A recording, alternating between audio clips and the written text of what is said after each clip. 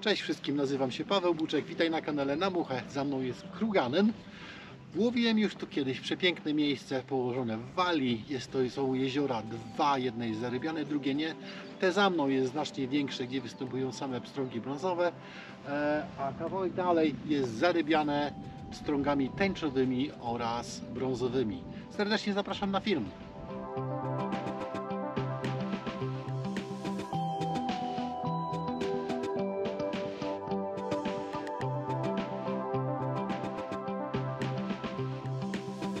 So that is the Cregennan Lakes. Uh, the other one, it is brown trouts. Here behind is another one which I really love to go to. It is uh, stocked by rainbows. They are much more smaller. They are rainbow mountain rainbows, and that is the place when you buy the tickets from. And it's on the side of the road. Uh, price it is 24 pounds in the whole day, and I can take it to fish with me which I'm not planning to. I prefer much cash and release, but it's amazing. Unfortunately, the weather is a little bit crap, but later on supposed to be nice and sunny. I still want to try because I fished it here before and I absolutely love that place. Ready to go, set them myself as usual. I got the Orvis uh, Encounter 9.5 with uh, floating light 5 and the two dry fly on it and the other one is super uh, Supra Sigma from Shakespeare. And it's the same length but it's only one difference. The other one is set up as an intermediate line. And that is a place when I go into. A little bit rough weather. I got hope later on will be condition changed. I don't mind because I'm full waterproof. So I'm not worried at all. I need to go here behind the gate I used to fish here before, so I exactly know where to go to. Down there in the corner, it is a boathouse, and it is really lovely to fishing from that corner. But I prefer the other one because you can get into the water and it's a crystal clear. But at the beginning, I started from the other corner, uh, only because it's well covered from the wind. Yesterday was raining, where I'm well close to the seaside so the weather in the mountains is unpredictable but it's brilliant. Here you can see from the distance it is snowed on there. When I turn around myself it's a seaside. Just want to jump into this water. I caught some really lovely browns or rainbows. Absolutely amazing. So I will try with two dry. One is a Sedges and the other one is imitation of buzzer but both of them floating so I need to get into the water. Just quite rocky from that side but a little bit further. Oh you see a fish stopping. It's a little bit better.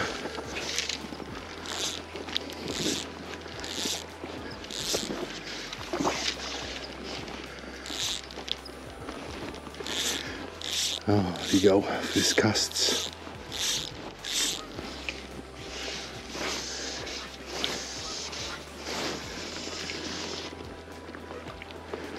Try to get in a little bit deeper.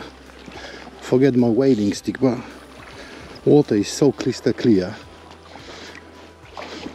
I don't need to worry so much about the, the wading stick just to walk slowly.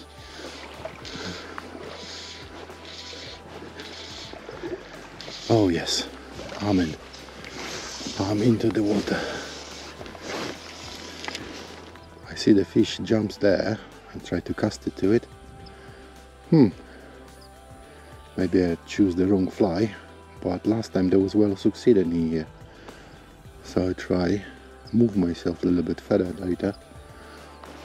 There, which is my favorite spot in here. I'm just walking that way.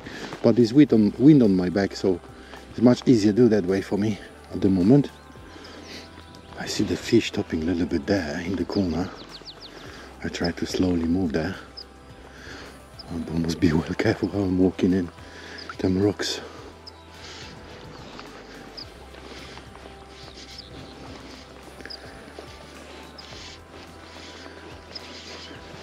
That lake is not really deep.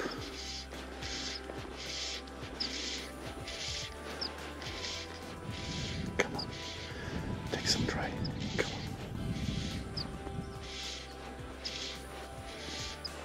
Try to slowly retrieve a little bit further.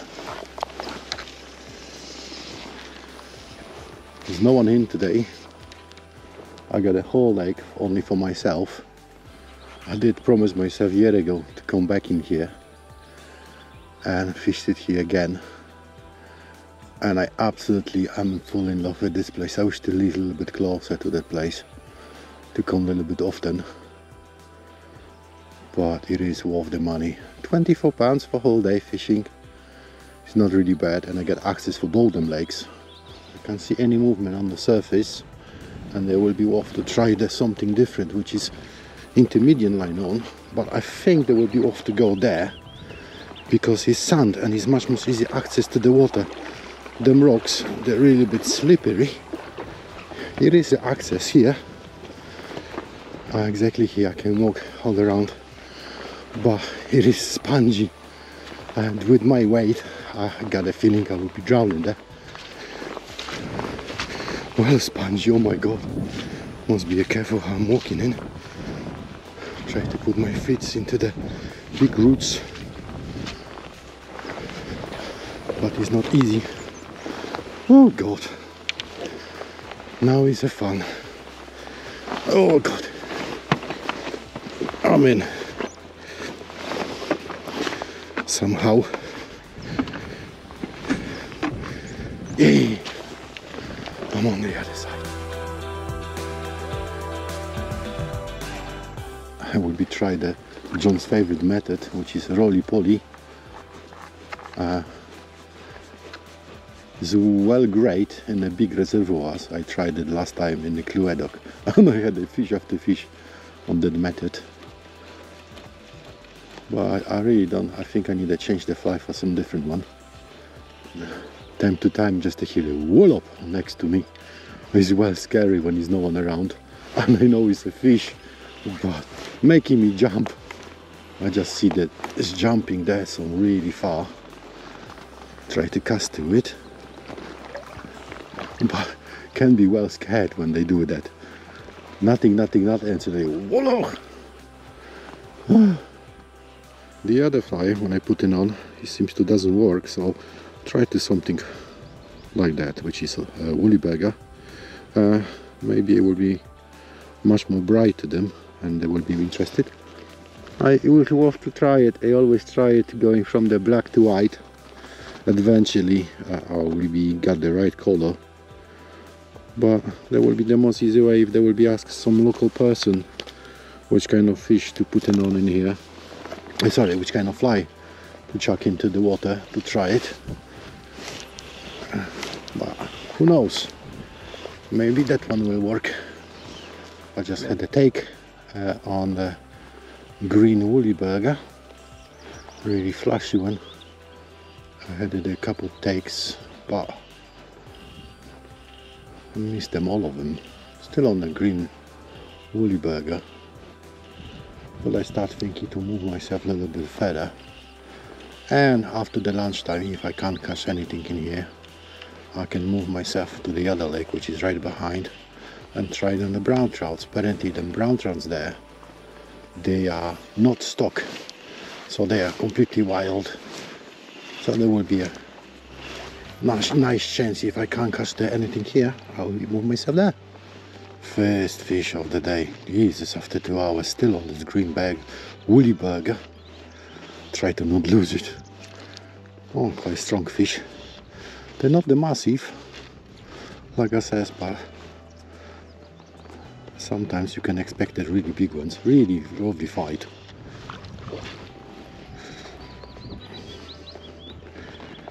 And it's a small rainbow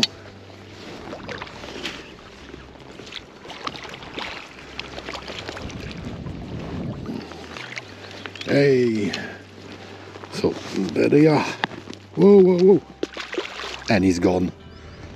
Really strong fish. Sorry. Try to catch another one.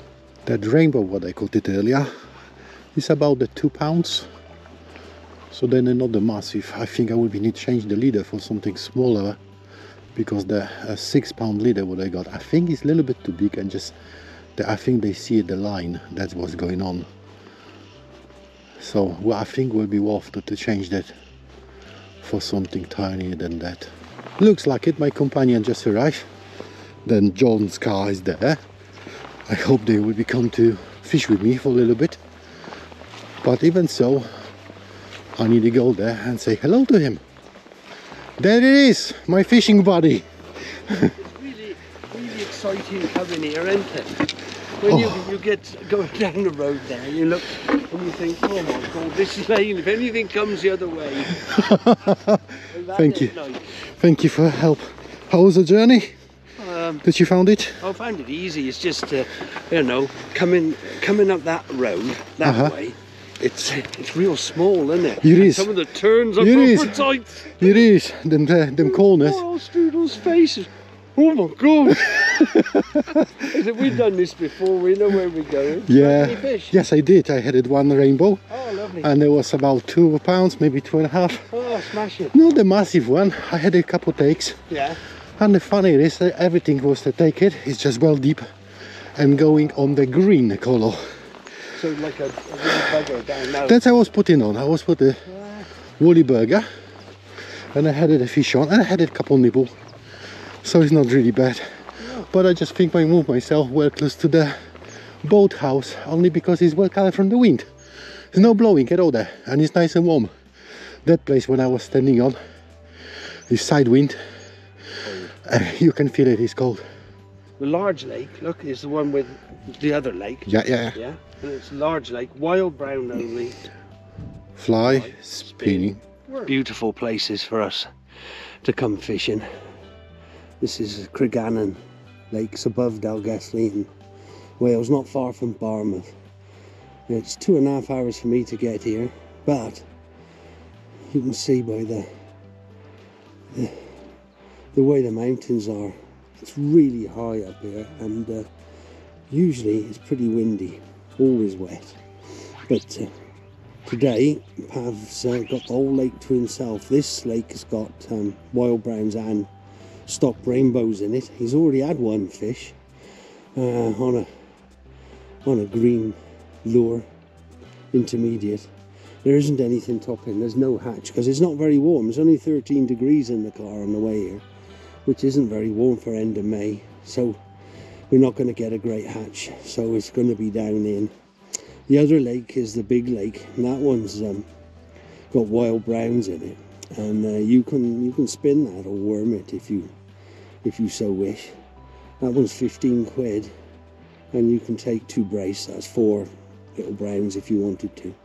This big one you can take take four uh, rainbows, but uh, I don't know if you'd want to take them.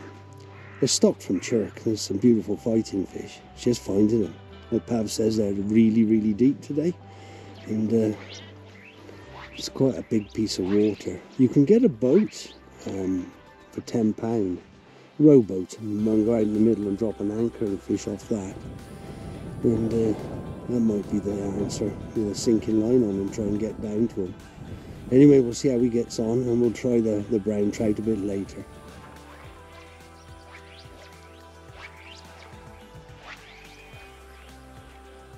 Is that your intermediate line or your floater? Medium. Oh, forget them walking stick. Oh no! I know. That I will say to myself is well difficult when you go in by your own. Yeah, If you take a bath, Yeah. somebody will come rescue me. nobody come and get you out. Perhaps trying his luck there with the intermediate line. You can wade that far out. It's very slippy underfoot. That's the only problem. But it drops off very sharply just in front of him there.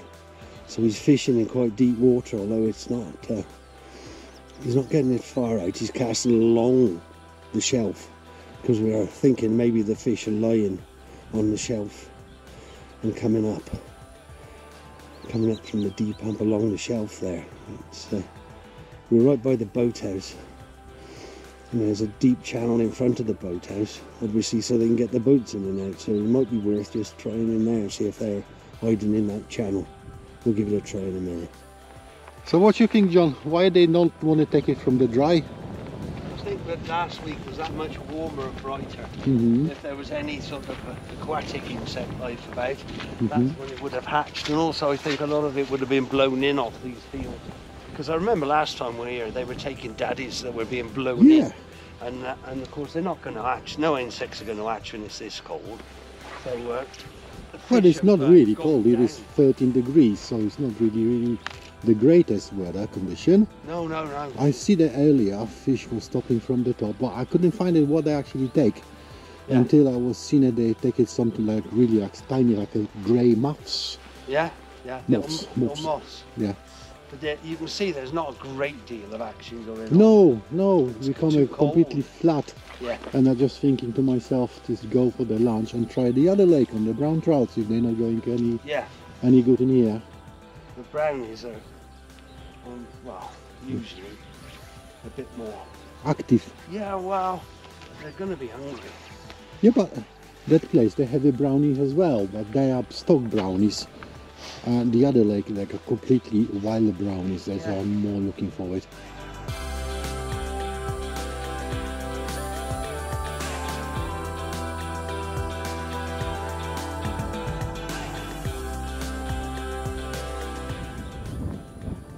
So that is the other lake. And John will be using my rod. I live in the intermediate line uh, to John and I try to get into the water. Ooh, he will be well sweat on me because he's very really deep. For me it's alright because I'm waterproof. I can get into the water. John! John! Put the waders on! Yeah? Yeah. Two daddy long legs, exactly well similar to each other. One is completely black, second is black with the green tail on. And we see how they go with that one because I know the brown trout they really like it. Daddy long legs, so I'm curious how they will be going it. I got a brownie. He was taken a really funny way, but I knew it. There will be happen. Really small one, not the massive one. Yay! Oh, really tiny timber. Come on. Yep, wild brownie.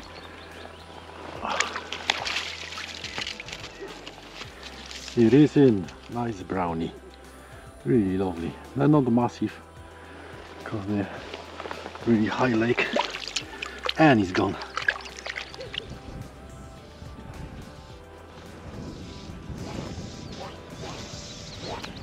Try to cast a little bit there. Looks like it's much more deeper. Looks like it's the same size than previously.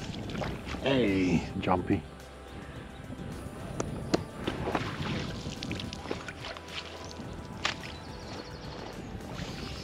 Yeah, daddy long leg. Hey! And another beautiful brownie. Tiny, the same size like previously. Really lovely fish they are.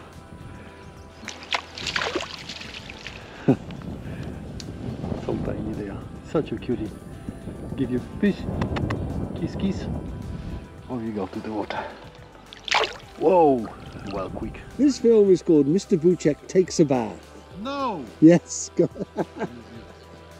Use my a wading stick. You see? That's Yeah, is do it? Use your rod as a wading stick. Good plan. Working? Working. It works. Hello everyone, Hi guys. John Krugerren. I love that place. You do, you love it. I know, I was looking for it and I was fished it on two. Yeah. One on the small one which is stuck by the rainbows and I caught in one. Yeah. But it was really difficult because you see by yourself. Yeah. You was fishing me with on the other one. Yeah. And there was that lake, I think the largest one is not stocked at all. They're completely wild. These ones, so- yeah, they're little wild brownies, no stop fishing there. And I was more succeeded on that one than with the other one. How many do you have? I had it three in total, but it was really lovely, tiny, not the big ones. Obviously, they are I would be called the brown brook trouts. Well, no, the brown trout, but they are golden. Yeah, yeah, really, really really colourful. Yeah, and tiny. Yeah, they're not very big, but they do fight well for their size. Yeah, they are. You had it? One. Oh, so I'm the winner today. You are. You always win the tiddler matches. Oh, I'm glad. I had a good rod with me and good company. Yeah. So thank you very much, John, Cheers, come boys. to see me. And I really recommended that place if there is obviously good weather condition. Now sun comes out when we decide to go. Yeah. Always luck with you. Always luck with there was any kind of condition. We have fog, we have rain, I'm still soaked. Yeah, always. Yeah. Always. Always you can come with you. Tiny lines everyone. Cheers, guys.